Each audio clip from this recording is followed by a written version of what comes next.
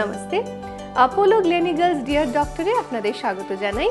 সঙ্গে আছি আমি রিনি আর আমাদের সঙ্গে প্রতিদিনেরই মতো তিন তিনটি বিভাগ। প্রথম বিভাগ ভিজিটিং আর যেখানে আজ আছেন ডক্টর শান্তনু পাঁজা। আমাদের বিষয় হলো আলোচনার ভয়েস ক্লিনিক এবং voice disorder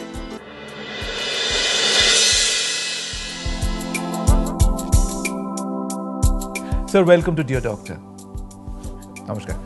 And thank you for coming to In the Visiting Hours. Thank So, আজকে যে টপিকটা কিন্তু স্যার এটা সত্যি আমাদের কাছে খুব গুরুত্বপূর্ণ টপিক এটা ভয়েস এটা মিডিয়াম অফ কমিউনিকেশন বা আমাদের কাছে তো পেশার একটা অপরিহার্য অঙ্গ।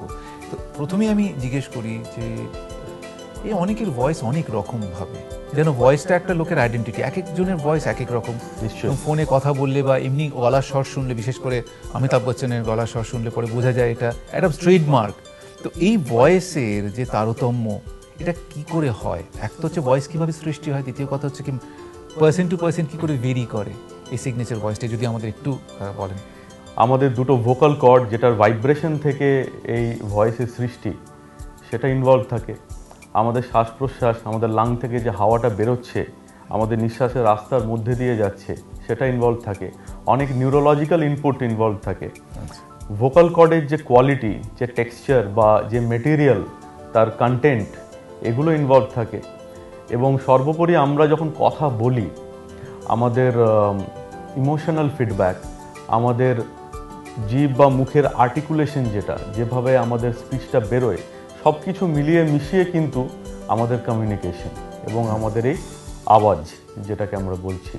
আচ্ছা স্যার, যেরকম ধরুন আমাদের শরীরের জন্য জগিং বা জিমিং বা যোগা একটা এক্সারসাইজ ব্রেনের জন্য ক্রসওয়ার্ড পাজল বা অন্যান্য কোনো পাজল সলভ করা একটা এক্সারসাইজ সিমিলারলি ভয়েসের জন্য বা ভয়েস বক্সের জন্য কি কি এক্সারসাইজ ভয়েস বক্সের জন্য বিভিন্ন ধরনের হয় এক্সারসাইজ এটা বেসিক্যালি আমার মনে হয় যে ভয়েস রেস্ট এটা একটা ইমপ্র্যাকটিক্যাল অ্যাডভাইস আমি ইউজুয়ালি পেশেন্টদের দিই না।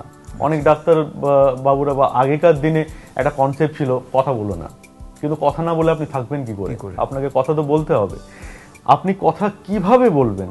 যাতে আপনার আওয়াজের ক্ষতি না হয় that is the thing to learn এটা একটা শেখার ব্যাপার।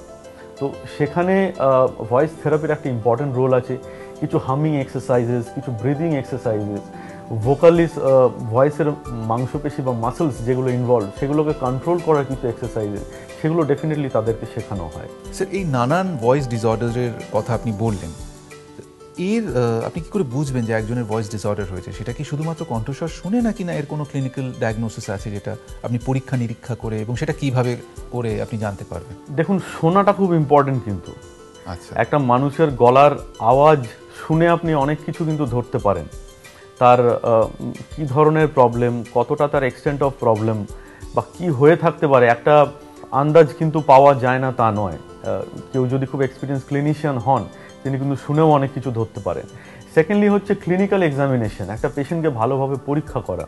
তার ওভারঅল শরীর এবং যে সমস্ত অর্গানসগুলো তাকে হেল্প করছে তাকে তার আওয়াজটা প্রডিউস করতে সেগুলোকে দেখা ভালো করে তার নেক তার গলাটা ভালো করে এক্সামিনেশন করা। তার ল্যারিঞ্জাল যে ফ্রেমওয়ার্ক যে কাঠামোটা যে স্কেলেটনটা সেটাকে ভালো করে দেখা এবং সর্বোপরি ভেতর থেকে দেখা যে তার ভোকাল কর্ড কি অবস্থায় আছে ভোকাল কর্ডের মুভমেন্ট কীরকম হচ্ছে ভোকাল কর্ডের ওপর কোনো গাঁট বা নোডিউল বা কোনো growth tumour keratosis anything for that matter সেরকম কিছু তৈরি হয়েছে কিনা? এবং সেগুলো দেখার জন্য ফাইবার অপটিক ল্যারিঙ্গোস্কোপি করে আমরা ক্যামেরার মাধ্যমে একটা ছোট্ট ফাইবার মেটেরিয়াল ভেতরে ঢুকিয়ে আমরা ক্যামেরা এক্সামিন করি। Through the nose through the mouth যাওয়া যেতে পারে। ইট ইজ অ্যাবসলিউটলি পেনলেস এবং চার পাঁচ মিনিট লাগে করতে। স্যার একটা লেম্যান হিসেবে আমি প্রশ্ন করছি যে আমাদের ডে টু ডে যেরকম আমরা ভয়েস ব্যবহার করছি কি ফিল করলে ইমিডিয়েটলি আমরা সেটাকে সময় নষ্ট না করে আপনার পরামর্শ বা কোনো ডক্টরের কাছে চলে যাওয়া উচিত?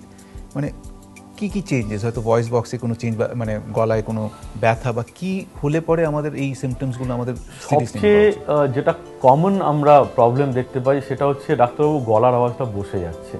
আচ্ছা। আমার যেরকম আওয়াজ ছিল সেরকম আমার আওয়াজটা এখন আর নেই। সুতরাং এনি হোর্সনেস অফ ভয়েস যেটা পারসিস্টিং অনেকে বলে যে ইনফেকশন হলো ভাইরাল ইনফেকশন একটুখানি আওয়াজটা বসে গেছে, কিছুদিনে ঠিক হয়ে যাবে। কিন্তু ধরুন দু দু তিন সপ্তাহের পরেও হয়তো আপনার এটা কন্টিনিউ করছে। You have a background of heavy smoking maybe alcohol সেক্ষেত্রে আপনার হয়তো একটা নতুন চেঞ্জ অফ ভয়েস এলো হোর্সনেস অফ ভয়েস এলো। ইউ শুড বি কেয়ারফুল আপনার দেখানো উচিত। নর্মাল যে ভয়েস ডিসঅর্ডার্সগুলো আপনারা চিকিৎসা কীভাবে এবং কী কি ইকুইপমেন্ট দিয়ে দেখুন চিকিৎসা বহু ধরনের আছে এবং অনেক উন্নত ধরনের আজকের দিনে। মানে laryngology as a subject last ten to twenty ইয়ার্সে এত ডেভেলপ করেছে যে মানে চিন্তার বাইরে। প্রাথমিকভাবে প্রবলেমটা দেখা যে জিনিসটা অ্যাকচুয়ালি হয়েছেটা কি। এখন কিছু কিছু কন্ডিশন আছে যেখানে ভয়েস থেরাপি বা কিছু কিছু ওষুধপত্র তাকে কিছু ডুজ অ্যান্ড ডোন্টস কি করবে কি করবে না এগুলো বুঝিয়ে সেগুলোকে স্ট্রিক্টলি ফলো করে কিন্তু আওয়াজের সমস্যা সম্পূর্ণভাবে ঠিক করা সম্ভব। স্যার খুব ইন্টারেস্টিং একটা তথ্য আপনার সম্বন্ধে জেনেছি। কিছুদিন আগে আপনি একটা মেডিকেল করেছেন উইচ ইজ এক ভদ্রলোকের মেয়েলি কণ্ঠস্বর ছিল সেটা আপনি সার্জারি করে ওর পুরুষালী কণ্ঠস্বরও ফিরিয়ে দিয়েছেন ওর সেলফ এস্টিমও ফিরিয়ে দিয়েছেন। এই এই ব্যাপারটা নিয়ে আমি একটু জানতে চাই এটা বিশদে। Actually it's a very interesting story ভদ্রলোক হচ্ছেন হি ইজ ফ্রম সিকিম আচ্ছা। And he is a very highly placed official মানে আহ, ওখানে ministry of animal husbandry additional director fifty four years বয়স। তো ওনাকে অনেক মিটিং অ্যাটেন্ড করতে হয় অনেক ইভেন টেলিভিশনে দূরদর্শনে প্রোগ্রাম করেন রেডিওতে প্রোগ্রাম করেন he is a very technical person very credible man খুব ভালো হারমোনিকা বাজান। উনি লাস্ট চল্লিশ বছর ধরে এই প্রবলেমটা নিয়ে বেঁচে আছেন। And with a pain in his heart যে এত এরকম একটা ক্রেডিবল মানুষ হওয়া সত্ত্বেও he suffers from a low self esteem তো উনি চল্লিশ বছর ধরে বহু চিকিৎসা করিয়েছেন, বহু জায়গায় সুফল পাননি। লাস্টে came to know about our work Sikkim থেকে ফোন করেন এবং এখানে এসে আলটিমেটলি আমার আমরা ওনার ওপর টাইপ থ্রি থাইরোপ্লাস্টি বলে একটা সার্জারি করি, যেখানে আমরা ভোকাল কর্ডের টেনশন যেটা টেনশন অফ দ্য ভোকাল কর্ডকে আমরা অল্টার করতে পারি। যার মাধ্যমে উনি এখন he has a baritone voice is very happy his family members R very happy and his wife must be very happy আমি সেটাই বলতে চাই দর্শকদের যে আমি নিজে ব্যক্তিগতভাবে অনেককে চিনি যারা এই ধরনের এই মেয়েলি কণ্ঠস্বর বা পাতলা কণ্ঠস্বরের জন্য তাদের এক্সপার্টিস থাকা সত্ত্বেও তারা কিছুতেই নর্মাল জীবনযাপন করতে পারে না। সবসময় হীনমন্যতায়. এখন হেল্প ইজ অ্যাট হ্যান্ড আপনারা এটা নিয়ে একদম হীনমন্যতায় ভুগবেন না। জানেন যে এটার কিন্তু চিকিৎসা সম্ভব। আচ্ছা স্যার আপনি এইমাত্র বলছিলেন যে এই ভয়েস সার্জারিতে লেজারের ব্যবহার। তো এটা যদি আমাদের একটু ইলাবোরেট করে বলেন। Laser surgery has revolutionised the management of voice disorder বলতে গেলে। আচ্ছা। এবং আমরা যে লেজারটা ইউজ করি সেটা হচ্ছে CO two laser carbon dioxide laser এখন এমন ধরনের মেশিন আছে যেটার মাধ্যমে আমরা একটা পাতলা বিম যেটা দিয়ে আমরা এই যে আমি আপনাকে বলছিলাম ভোকাল কর্ডের ওপর নডিউল হতে পারে গাঁট হতে পারে বা ইভেন ম্যালিগনেন্সি সেটাকে খুব প্রিসাইজলি আমরা কেটে রিমুভ করতে পারি। এটাকে আমরা বলি হ্যান্ডেললেস নাইফ আচ্ছা। একটা নাইফের মতো কাজ করে একটা ছুরির মতো কাজ করে কিন্তু এর কোনো হ্যান্ডেল থাকে না। একটা আলোর রশ্মি দিয়ে এই জিনিসটা করা হয়। এবং ইন্টারেস্টিং ব্যাপার হচ্ছে যে why it is so advantageous তার কারণ হচ্ছে যে এই সিও টু লেজারের আমরা ডেপথ বা কতটা তার তীব্রতা, এটাকে আমরা ভীষণ প্রিসাইজলি কন্ট্রোল করতে পারি। যেটা অনেক সময় কোল্ড ইনস্ট্রুমেন্টে করা পসিবল হয় না। এবং তার ফলে কি হয় যে কোল্যাটারাল ড্যামেজ যেটা, যে ধরুন আমি যেটুকু জায়গা রোগ আছে সেই জায়গাটাকে আমি রিমুভ করছি, কিন্তু তার আশেপাশের যে নর্মাল টিস্যু সেইটার যে ড্যামেজ সেটা একদম হয় না বললেই চলে। So it is a bloodless surgery it is a painless surgery এবং তার কোল্যাটারাল যে ড্যামেজ তার আশেপাশের যে টিস্যু ড্যামেজটা খুব মিনিমাম যার ফলে কি হচ্ছে যে ভয়েসের রিকভারি কারণ আমি যখন ভোকাল কর্ডে কোনো সার্জারি করছি, আমার লক্ষ্যটা থাকে তার স্বাভাবিক কণ্ঠস্বরটা তাকে ফিরিয়ে দেওয়া বা সেটাকে আরও ইমপ্রুভ করা। তো সেই গোলটা সেই লক্ষ্যটা কিন্তু আমি ভীষণ ভালোভাবে অ্যাচিভ করতে পারি। থ্রু সিও টু লেজার তো এই ধরনের পদ্ধতির পর কতদিন আমাদের রেস্ট নিতে হবে আমরা কি সঙ্গে সঙ্গে কাজে জয়েন করতে পারব নাকি না? The beauty of this surgery is যে এই- এই ধরনের সার্জারির পর সাধারণত চব্বিশ ঘণ্টার বেশি পেশেন্টকে থাকতে হয় না হাসপাতালে। আচ্ছা আচ্ছা আচ্ছা। মানে আজকে সার্জারি করলে আমি কালকে সকালে পেশেন্টকে ছুটি করে দিই অনেক সময় দিনের দিন ছুটি করে দিই। আপনি তো অনেক কেসেস ট্রিট করেছেন যেখানে হেড অ্যান্ড নেক ক্যান্সার হয়েছে। তো সেখানেও কি লেজার প্রয়োগ করছে আমার প্র্যাকটিসে আমি হেড অ্যান্ড নেক ক্যান্সার প্রচুর ট্রিট করি। লেজারের ক্ষেত্রে শুধু ওরাল ক্যান্সারের ক্ষেত্রে ইউজ হয় তা নয়। অনেক প্রি ম্যালিগনেন্ট কন্ডিশন যেগুলো এখনও ক্যান্সারে ট্রান্সফর্ম করেনি, কিন্তু প্রি ম্যালিগনেন্ট অবস্থায় আছে, সেগুলো রিমুভ করা যায়। ভোকাল কর্ড ক্যান্সারে তো অসাধারণ রোল আছে স্পেশালি আর্লি বা মডারেট স্টেজের যে ভোকাল কর্ড ক্যান্সার সেগুলো সম্পূর্ণভাবে সারিয়ে তোলা যায় লেজারের মাধ্যমে এবং এই পেশেন্টদের we can avoid radiotherapy we can avoid chemotherapy এবং আমরা তার কোনো মেজর সার্জারি যেখানে ভয়েস বক্স বাদ দেওয়া এই ধরনের সার্জারি পর্যন্ত কিছু কিছু ক্ষেত্রে অ্যাভয়েড করা সম্ভব। ইনফ্যাক্ট আমি আপনাকে এটা নিয়ে প্রশ্ন করতে যাচ্ছিলাম যে আপনি যা যা পদ্ধতিগুলো বললেন বা প্রসিডিয়ার্সগুলো বললেন সেটা এই মুহূর্তে কি ইস্টার্ন ইন্ডিয়ায় পাওয়া সম্ভব এবং পেলে কোথায় পেতে পারি? ইন্টারন্যাশনাল সিনারিওতে যা কিছু লেটেস্ট ল্যারিঙ্গোলজির ওপর বা ভয়েস ডিসঅর্ডারের ওপর কাজ হচ্ছে সমস্ত কিছু আমরা কলকাতায় স্টার্ট করেছি।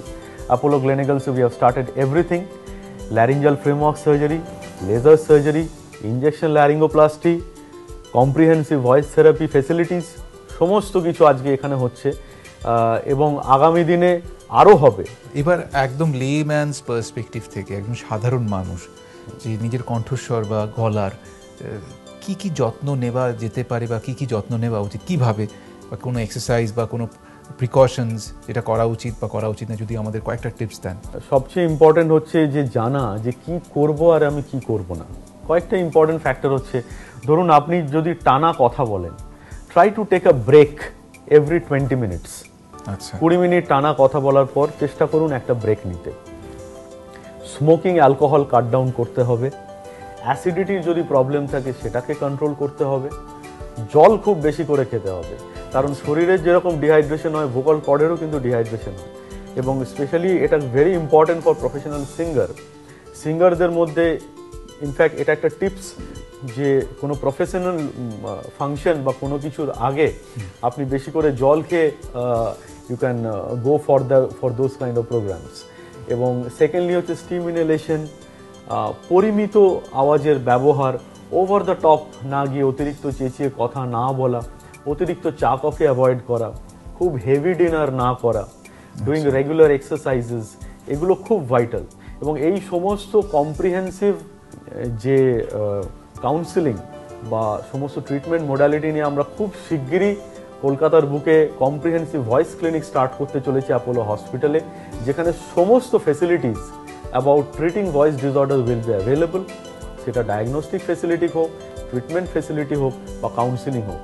এটা আমরা ইস্টার্ন ইন্ডিয়ার মানুষদের উপহার দেব, এইরকম সেন্টার সারা ভারতবর্ষে হয়তো হাতে গোনা, একটা কি দুটো আছে, এবং এখানেও আমরা এই ফেসিলিটি শুরু করতে চলেছি। Thank you thank you very much doctor পাজা আপনি যে আপ- আপনার মূল্যবান সময় ব্যয় করে আমাদের অনেক কিছু জানালেন, শেখালেন, বিশেষ করে আমি ব্যক্তিগতভাবে এই এই এপিসোডটা করে আমি অনেক কিছু জানতে পারলাম ভয়েস সম্বন্ধে, এবং আমি আমার শিল্পী বন্ধুদের গিয়েও বলব যে আমরা যেটাকে টেকেন ফর গ্রান্টেড নিয়ে নিয়েছি সেটা কিন্তু না নেওয়া উচিত এবং এর যত্ন নেওয়া উচিত।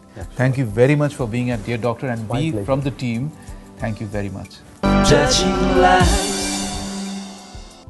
Visiting আওয়ারের পরে আমরা যাব আমাদের দ্বিতীয় বিভাগ ফেসিলিটিসে আরও কিছু খোঁজ খবর ভয়েস ক্লিনিক সম্পর্কে এবং সঙ্গে অ্যাপোলো ক্লিনিক্যালসের কিছু সুযোগ সুবিধে জানা যাবে এই বিভাগটিতে।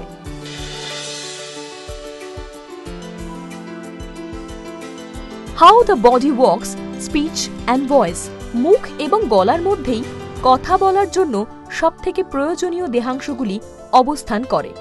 কথা বলার সময় ফুসফুস থেকে বাতাস, প্রথমে লারিংস এবং তারপর এপিগ্লটিসের মধ্য দিয়ে প্রবাহিত হয়ে ভোকাল কর্ডগুলিকে কম্পিত করে অথবা ভোকাল কর্ডগুলির মধ্যে কম্পনের সৃষ্টি করে, যার ফলে স্বরের সৃষ্টি হয়, যার প্রবাহ পরিবর্তিত হয় লারিংসের আকার অনুযায়ী। সেই স্বর শব্দের আকার নেয় জীব এবং ঠোঁটের সাহায্যে।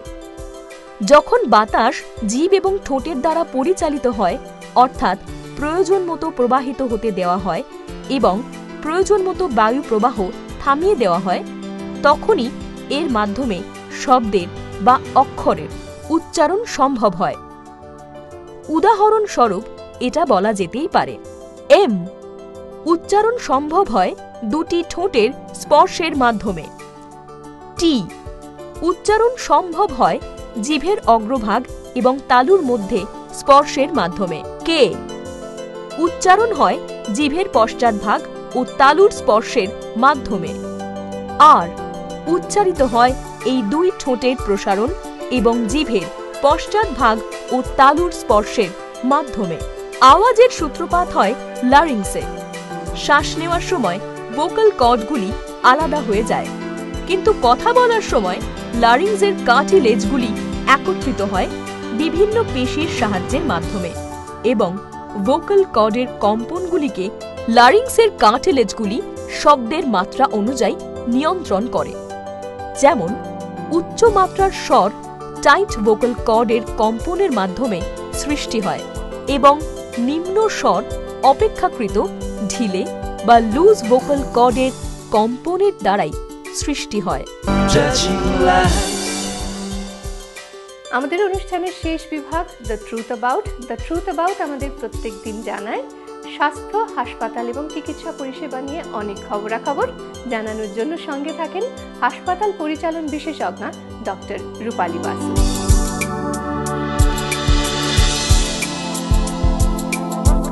নমস্তে। গুড আফটারনুন আশা করি পরিবারের সকলকে নিয়ে সুস্থ আছেন। আজকে আমরা আলোচনা করব ক্যান্সার স্ক্রিনিং নিয়ে। আমরা সবাই জানি ক্যান্সারে আক্রান্ত রোগীর সংখ্যা আমাদের দেশে খুব দ্রুত বেড়ে চলেছে। আপনাদের জানিয়ে রাখি, বিশ্ব স্বাস্থ্য সংস্থার বিপদ সংকেত অনুযায়ী দু হাজার কুড়ি সালে প্রতি চারজনের মধ্যে একজনের, অর্থাৎ প্রতি পরিবারে, প্রতি চারজনের মধ্যে পরিবারের একজনের ক্যান্সার হওয়ার সম্ভাবনা রয়েছে। আর দুর্ভাগ্যের বিষয় হলো, এত শিক্ষা, এত বিজ্ঞানের অগ্রগতি সত্ত্বেও আমরা এখনও ক্যান্সার অনেক দেরিতে ধরা পড়ছে।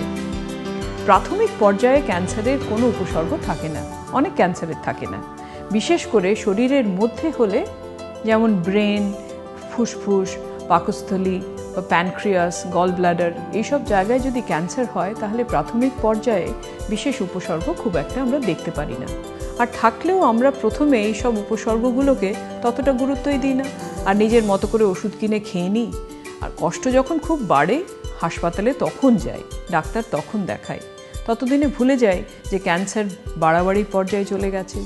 সেখান থেকে নিরাময়ের সম্ভাবনা কমে যায়। অনেক ক্ষেত্রেই আমরা মানে ডাক্তাররা, তখন আর ক্যান্সার নিরাময় করতে পারি না। আমরা যাতে শুরুতেই ক্যান্সার ধরতে পারি, সেই জন্যে কিন্তু প্রয়োজন সকলের সচেতনতা। আর বলছি, ক্যান্সার প্রাথমিক অবস্থায় যদি ধরা পড়ে, তাহলে খুব কম খরচায় ক্যান্সারের সম্পূর্ণ নিরাময় করা সম্ভব। কি করব তাহলে আমরা? এর জন্য দরকার ক্যান্সার স্ক্রিনিং। ক্যান্সার স্ক্রিনিং কাকে বলে? ক্যান্সার স্ক্রিনিং হচ্ছে ক্যান্সার লক্ষণ শুরু হওয়ার আগেই ক্যান্সারকে নির্ণয় করা। এতে রয়েছে কিছু সাধারণ পরীক্ষা, যেমন ধরুন রক্ত পরীক্ষা এক্স রে ইউরিন অ্যানালিসিস, অন্যান্য পরীক্ষা, যেমন ইউএসজি এন্ডোস্কোপি, বায়োপসি। এটসেট্রা ইত্যাদি। স্ক্রিনিংয়ের নানা ধরন হয়। স্ক্রিনিংয়ের একটা হচ্ছে ইউনিভার্সাল স্ক্রিনিং বা মাস বা পপুলেশন স্ক্রিনিং সেখানে কিন্তু একটা নির্দিষ্ট এজ গ্রুপের মধ্যে প্রত্যেকের আমরা স্ক্রিনিং করি। অথচ আরেকটা গ্রুপ আছে যেটা হচ্ছে সিলেক্টিভ স্ক্রিনিং যেখানে আমরা সুনির্দিষ্টভাবে চিহ্নিত করি যেসব মানুষদের যাদের ক্ষেত্রে ক্যান্সার হওয়ার সম্ভাবনা প্রবল।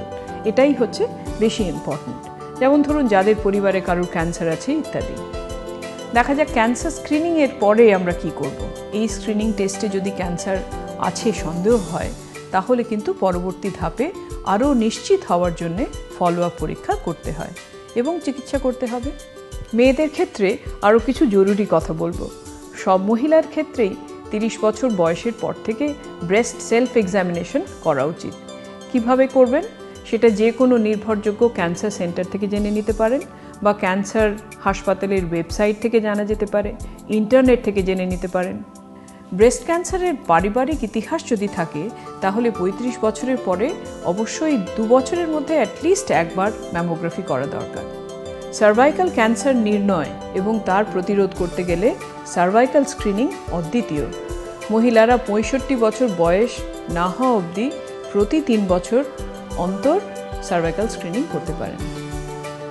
আর মেনোপজের আগে অবধি মহিলারা বছরে একবার প্যাপসমিয়ার টেস্ট নিশ্চয়ই করাবেন এই হলো মহিলাদের ক্ষেত্রে। আর আমাদের সবারই ক্ষেত্রে মানে পরিবারের কোলোরেক্টাল ক্যান্সারের যদি কোনো ইতিহাস থাকে, তাহলে কোলোনোস্কোপি করাবেন। হেডনেক ক্যান্সারের ক্ষেত্রে নিয়মিত ইএনটি মুখের চেক প্রয়োজন। বিশেষত যারা খৈনি খান, গুটখা খান বা সুপুরি খান, এদের ক্ষেত্রে খুব জরুরি। এছাড়া মুখের ঘা এক সপ্তাহও যদি না শুকোয় বা মুখগহ্বরের ভেতরে ছোট গ্রোথ, তাহলে ডাক্তার দেখাবেন। চিবোতে গেলে, ঢোক গিলতে গেলে, হাঁ করতে গেলে কষ্ট হলে সাথে সাথে ডাক্তার দেখাতে হবে। আর মহিলা পুরুষ সবার ক্ষেত্রেই মাসে অন্তত একবার নিজের মুখের ভেতরটা ভালো করে পরীক্ষা করুন। জিভে দাগ থাকলে বা গালে সাদা দাগ থাকলে ডাক্তার দেখিয়ে নেবেন। এবারে আসি লাং ক্যান্সার স্ক্রিনিংয়ে এখানে কাশি সহজে যেতে চাইছে না, নিঃশ্বাস নিতে অসুবিধে, কাঁধ, পিঠ, কোমরে ব্যথা প্রায়শই ব্রঙ্কাইটিস নিউমোনিয়ায় আক্রমন্ত হচ্ছেন। এরকম ক্ষেত্রে লাং ক্যান্সারের আশঙ্কা থাকতে পারে। ডাক্তার দেখাবেন। শরীরের কোথাও তিল বা মোল যদি থাকে এবং তার আকার যদি পাল্টে যায়, তাহলেও কিন্তু ডাক্তার দেখানো দরকার। আগেই বলেছি, আবার বলছি আর্লি স্টেজে যদি ক্যান্সার ধরা পড়ে, তাহলে আজকাল তা সারানো যায়। আজ এই পর্যন্ত, আবার সামনের সপ্তাহে। নমস্তে।